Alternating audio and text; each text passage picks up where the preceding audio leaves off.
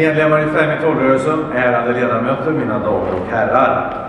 Välkomna till riksdagen och denna manifestation mot främlingsfientlighet och rasism och för alla människors lika värde.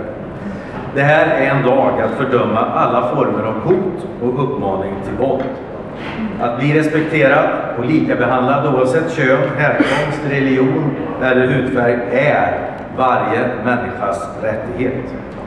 Ändå är vi tyvärr långt ifrån en värld fri från förföljelse och diskriminering.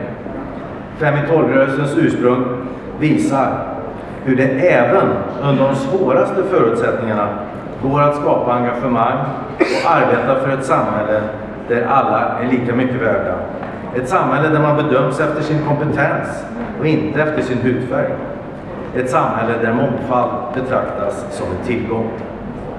Som riksdagsledamöter, som förtroendevalda i en demokrati har man ett särskilt ansvar när det gäller att stå upp för tolerans och öppenhet. Men alla bär ett ansvar. Alla kan göra ett aktivt val i vardagen för att verka för ett bättre samhälle.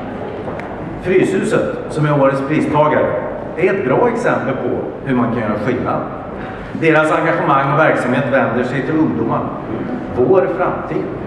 Genom sina projekt erbjuder de stöd till unga människor som vill lämna destruktiva och extremistiska grupper och hjälper till att utveckla en ny identitet. Fryshuset erbjuder alternativ till hat och våld.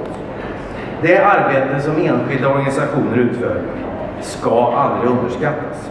Det är många gånger dessa gräsrotsorganisationer faktiskt är de första som rycker ut att försvara vårt lands demokratiska värderingar. Fem i tolv-rörelsen och Fryshuset ger oss möjligheten att agera och göra aktiva val i vår vardag. Som har samlats här idag för att markera mot främlingsfientlighet och för att stå upp för ett öppet och tolerant Sverige. Ett Sverige där vi står upp för allas lika värde och allas mänskliga rättigheter. Tack för ordet.